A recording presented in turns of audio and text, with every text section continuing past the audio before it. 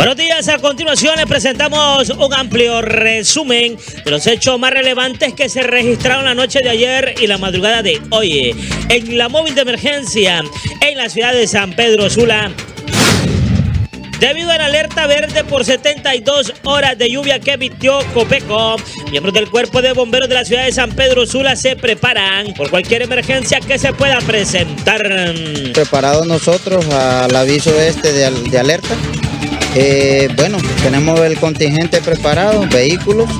Eh, contamos con cuatro pick-up de rescate, una unidad también de, rescate profesional, tanto como vehicular, y para hacer amplio despeje en las vías por cualquier situación de lluvia y también de que aquí en la costa norte pues se sabe que cuando se da un fenómeno de estos pues viene la caída de árboles. ¿Cuántas horas eh, se ha anunciado eh, teniente, para este fin de semana de lluvia?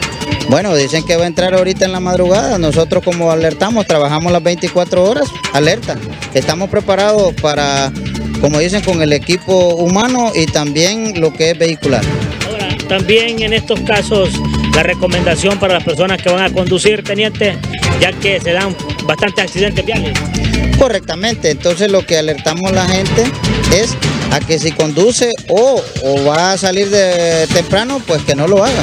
Tratemos de, de eh, como dicen, ampliar esta, este, esta información.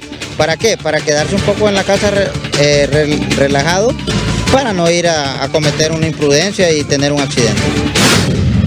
Familiares de un estudiante de la USAO que murió en horas del día producto de un disparo accidental que le proporcionó un compañero retiraron el cuerpo en horas de la noche de la morgue del Ministerio Público. Asimismo, también retiraron el cuerpo de un joven de 14 años de edad que fue ultimado en la colonia Primavera del sector de Choloma. Este fue identificado con el nombre de Wilmer Alexis Pérez Pérez, quien era originario de San Rafael en Pira.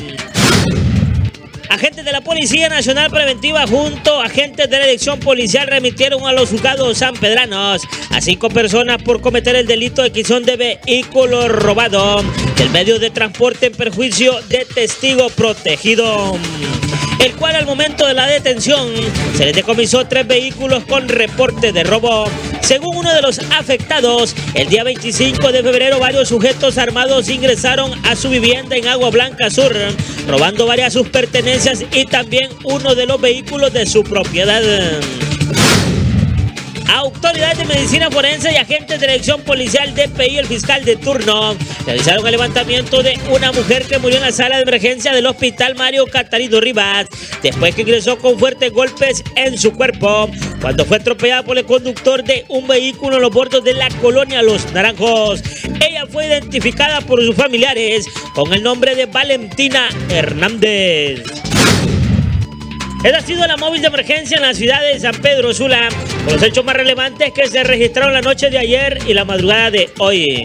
Con las imágenes y edición de Carlos el Dinámico Pérez, del propio lugar de los hechos para HCH Televisión Digital, les informó Orlin Castro.